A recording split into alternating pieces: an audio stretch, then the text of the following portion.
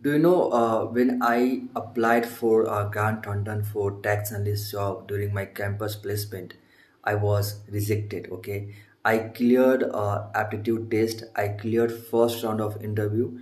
When I uh, went for the second round of interview, they rejected me, stating the reason that uh, my resume is more declined towards marketing.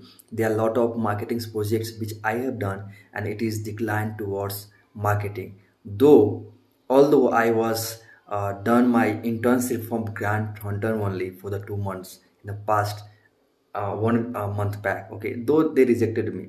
I was pretty much okay okay I applied for other job I got selected for ICICI Direct.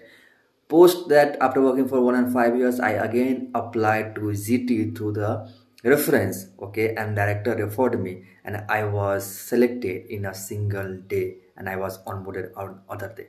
That is the power